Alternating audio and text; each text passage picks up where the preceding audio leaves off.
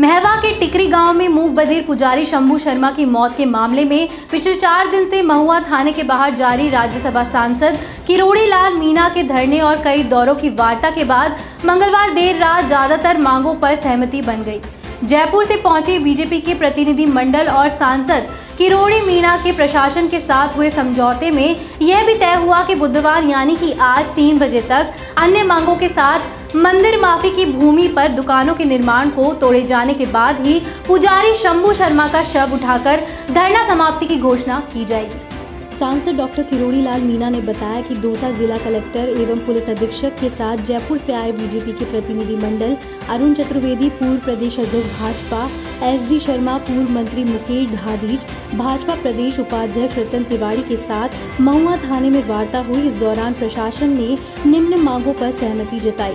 मृतक शंभू शर्मा की ज़मीन की रजिस्ट्री षड्यंत्र करने के मामले में तहसीलदार को एपीओ करने के आदेश मृतक द्वारा पूर्व में दर्ज मुकदमे की धारा 420 में अब धारा 302 को भी जोड़ा गया। एसबी के द्वारा तीन टीम गठित कर रवाना की षड्यंत्र में लिप्त अपराधियों को जल्दी पकड़ा जाएगा।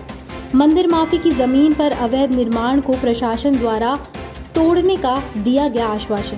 सांसद डॉक्टर किरोड़ी लाल मीणा ने बताया कि जब तक प्रशासन द्वारा अवैध निर्माण को हटाया नहीं जाएगा, तब तक मेरा धरना जारी रहेगा। मंगलवार को चले घटनाक्रम के मुताबिक पुजारी की मौत के मामले में न्याय की मांग को लेकर राज्यसभा सांसद डॉक्टर किरोड़ी लाल मीणा, पूर्व कैबिनेट मंत्री अरुण चतुर्वेदी, देवस्थान बोर्ड के पूर्व चेयरमैन एस डी शर्मा और सर्व समाज के पदाधिकारियों और कलेक्टर एसपी की मौजूदगी में घंटों वार्ता का दौर चला।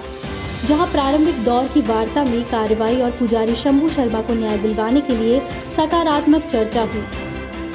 इस बीच धरने के समर्थन में महुआ पहुँचे सर्व समाज के पदाधिकारी। जब थाना अधिकारी के कक्ष में प्रशासनिक अधिकारियों से वार्ता के लिए पहुँचे तो वार्ता के दौरान राज्यसभा सांसद डॉक्टर किरोड़ी लाल मीना और एसडीएम लोकेश मीना के बीच तकरार हो गई। इससे सांसद किरोड़ी मीना को गुस्सा आ गया और वे वहाँ वार्ता छोड़कर बाहर आ गए। ये देख धरने पर बैठे लोग भी थाने पहुँच गए, जिन्होंने एसडीएम के खिलाफ जमकर नारेबाजी की जमकर नारेबाजी करते हुए एसडीएम पर भ्रष्टाचार के आरोप लगाए और उन्हें तुरंत यहाँ से हटाने की मांग करने लगे। मामला बिगड़ता देख प्रशासन ने वार्ता से एसडीएम को अलग कर दिया और कुछ समय बाद वार्ता के लिए कलेक्टर पीयूष सामरिया और एसपी अनिल बेनीवाल पुलिस थाने पहुँचे। तब जाकर सांसद डॉक्टर किरोड़ी लाल मीना को फिर से वार्ता के लिए बुलाया गया।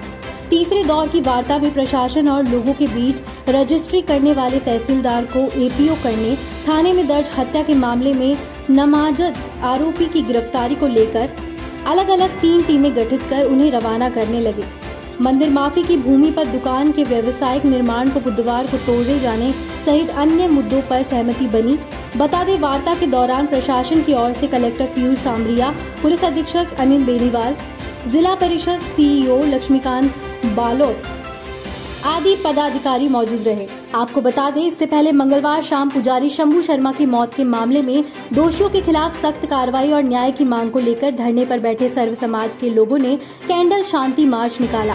सर्व समाज के लोगों ने सर्वप्रथम धरना स्थल पर रखे मृतक पुजारी के शव पर दीप प्रज्वलित कर सामूहिक रूप से दो मिनट का मौन धारण कर आत्मा की शांति के लिए श्रद्धांजलि दी। इसके पश्चात धरना स्थल से कैंडल शांति मार्च निकाला गया, जो शहर के प्रमुख मार्गों से होकर वापस धरना स्थल पर आकर विसर्जित हुआ।